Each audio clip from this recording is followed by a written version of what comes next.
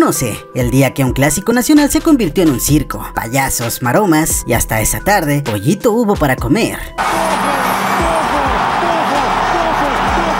Luces, micrófonos, que comience el salseo.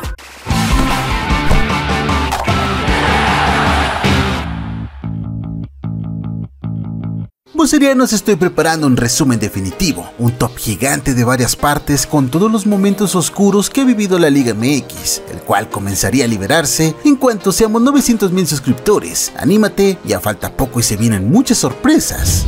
Para comprender mucho mejor el contexto de esta historia, debemos trasladarnos cuatro años atrás. Manuel Lapuente, en ese momento entrenador del América, lograba ante Necaxa liberar la presión americanista de una sequía de casi 13 años en el verano del 2002 con un gol de oro y luego de una espectacular salvada de Adolfo Ríos que técnicamente les dio el título.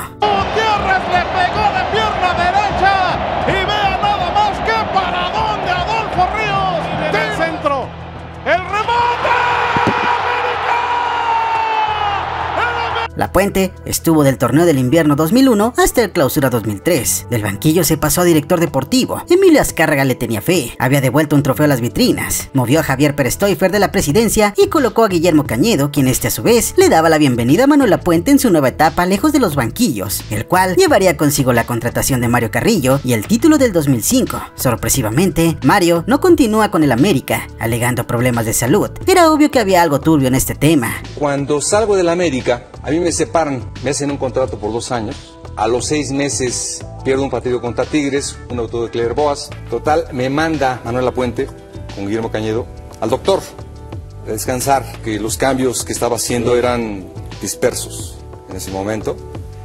Pues fue lo que me dijeron.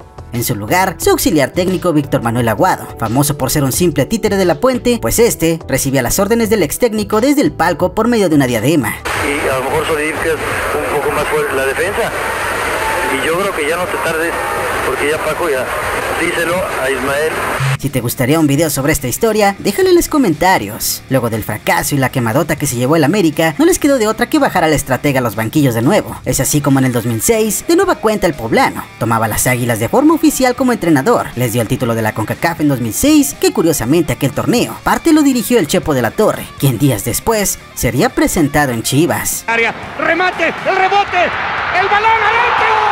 ¡La pelota está en el fondo! Llegaría Luis Fernando Tena y La Puente quedaría como asesor. Es aquí, en el Apertura 2006, donde el clásico en cuestión tomaría muchísima repercusión después de la guerra de declaraciones. Del otro lado de Chivas, también retrocediendo cuatro años, en el lejano 2002, Jorge Vergara compraba al rebaño trayendo consigo revivir los colores y la rivalidad contra los de Cuapa. Cuando yo fue con Chivas, empecé a visualizar cómo demonios, cómo estaba la estructura y cómo podía lograr el objetivo y así empecé.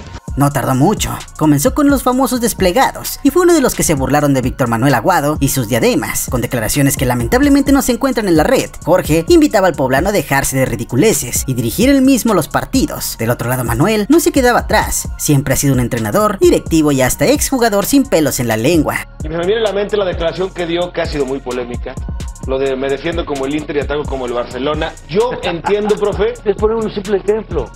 Para esos momentos, Luis Fernando Tena tenía la escuela La Puentista, un juego precavido y muy al contragolpe, por no decirlo aburrido, a pesar de contar con jugadores como Cabañas, Bozo, Cuauhtémoc Blanco, El Pipino Cuevas y Claudio El Piojo López. Manuel Lapuente arremetiendo contra la prensa y la presión sobre el estilo de juego del vicepresidente de la América en ese entonces, acuñó la frase que ha reverbado en otros técnicos. El que quiere espectáculo, que vaya al circo. Normalmente me he catalogado como un técnico serio y así es. Si otros me quieren poner otra capucha, pues me vale. Lo hizo en la semana previa al Clásico Nacional. Para Jorge Vergara fue muy fácil. Tenía de enemigo a alguien igual de bocón que él. Solo era cuestión de prender la mecha y esperar que la puente solito entrara a la boca del lobo. Era el torneo de su centenario. Un novato Chepo de la Torre tomaba el mando, pero con un desfile de figuras impresionante en el cuadro rojiblanco, como Bofo Bautista, Venado Medina, Omar Bravo, Osvaldo Sánchez, Ramoncito. Era un equipazo en, todos los aspectos, defensivamente, ofensivamente, sabía atacar, sabía defenderse, eh, tenía también ese, ese coraje cuando las cosas no le salían bien para reponerse ante cualquier circunstancia. Desde la llegada de Jorge Vergara a la dirigencia del Guadalajara, los desplegados se hicieron recurrentes, principalmente hacia el odiado rival. Los primeros dictaban frases como pollitos en fuga 2, la continuación, el domingo es un lindo día para pasear a los hijos, otro buen caldo de pollo, y primero fueron los huevos que la gallina, y nosotros siempre hemos tenido la razón. Ante los ataques, Manuel Lapuente le sobraron palabras para defenderse. La palabra circo, sin duda, estaba muy clavada en el vocabulario del vicepresidente, pues dijo que lo que buscaba Vergara era todo un circo con sus declaraciones y desplegados. La respuesta del tapatío fue...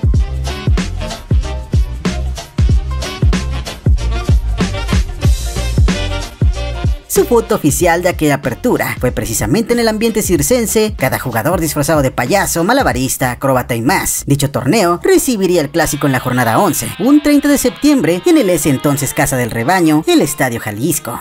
Es eh, la señal de que los jugadores estarán entrando a la cancha, las chivas con Osvaldo Sánchez en el marco.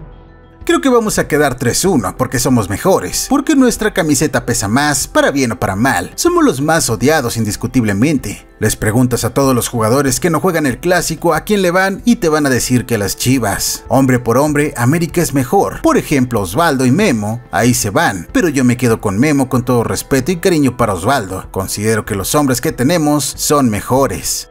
Y cuando le preguntaron su opinión sobre Jorge Vergara, el poblano arremetió duro y de nueva cuenta invocó el tema del circo. Tal vez Jorge Vergara está en la India. Ha de estar buscando un elefante para su circo porque así lo presentó al principio. Incluso hasta se pavoneó de que el director técnico de Chivas, José Manuel de la Torre, era una buena manufactura por el tiempo que trabajó en Cuapa. Finalmente, la centena de declaraciones del vicepresidente deportivo de América cobrarían factura. No se imaginaba la lluvia de ideas que tenía preparadas Jorge Vergara ese día. Este tipo es un auténtico payaso. Este entró a hacer a la cancha su payasada.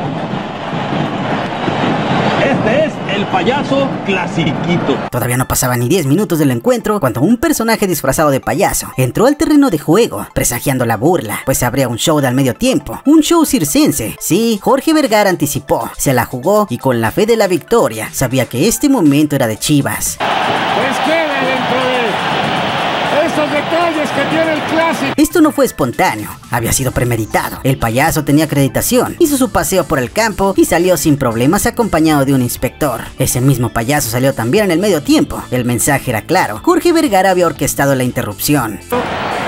Pues se le queda viendo como diciendo qué pasa. Fuera del tema del payasito, el primer tiempo pasó de largo. Un 0 a 0 que no sabía nada. Un primer tiempo que no fue sino un homenaje al bostezo. Tena recibiría órdenes desde el palco. Manolo exigía la victoria. Un acomodo, la entrada de Cuauhtémoc y movimientos por aquí y por allá. Sirvieron de poco. Al minuto 22 del segundo tiempo, un rechace de la saga americanista, casi con displicencia, porque veía los intentos del Guadalajara Timuratos. Aquel balón cayó en los pies indicados. Bofo asestaba un tremendo fierrazo que Ochoa solo para no verse mal se tiró segundos después. El tiro de atrás de Pineda, tiro.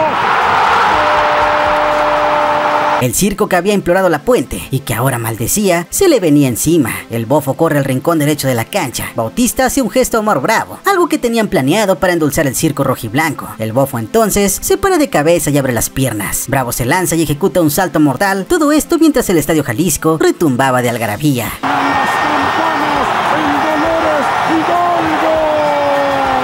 Sí, la puente, la magia del circo había invadido el campo y se llamaba Chivas, pues más tardó en acomodarse el América en la media cancha que el rebaño en anotar su segundo gol.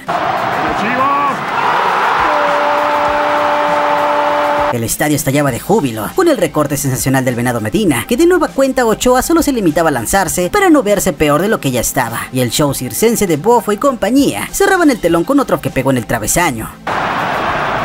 ¿Viene Bofo?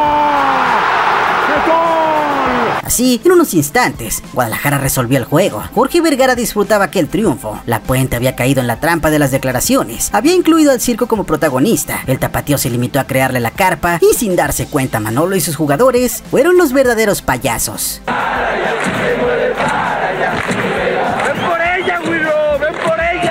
Sin duda que el torneo no podría concluir mejor para Guadalajara, pues se volverían a enfrentar en semifinales. El vicepresidente no aprendió la lección ante una apuesta de Vergara. La puente reviró. Nosotros no hacemos ese tipo de apuestas. Nosotros somos una institución seria. No tenemos carpa de circo. Los que están obligados son ellos porque no han ganado nada. Ya les dimos chance una vez de ganarnos para ver si llegaban a la calificación y se enfrentaran a nosotros. Los que están obligados son ellos. Y hablamos de obligaciones. ¿Por qué? Porque ellos no han ganado nada. Y el señor Vergara igual.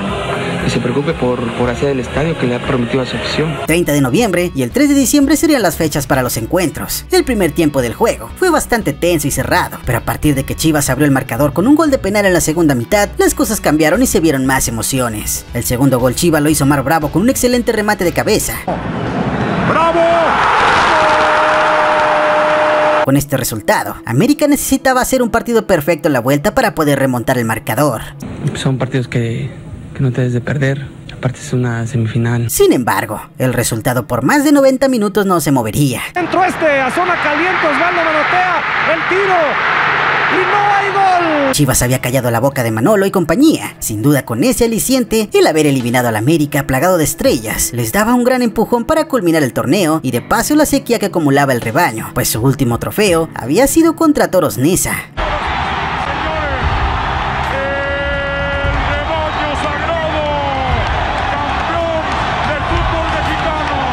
Aquel clásico demostró sin duda que el cuadro del rebaño estaba para ser campeón. Si en la memoria de un chivista está este torneo, luego del campeonato ante Toluca, pero por supuesto que sigue el recuerdo de aquel clásico que comandados por el Bofo y Omar Bravo dieron el más espectacular y sincerse de los festejos en el fútbol mexicano. Ese, el día en que los payasitos de Chivas se convirtieron en magos, genios, acróbatas y domadores de aves. Y sin duda demostraron que el fútbol sí es un espectáculo.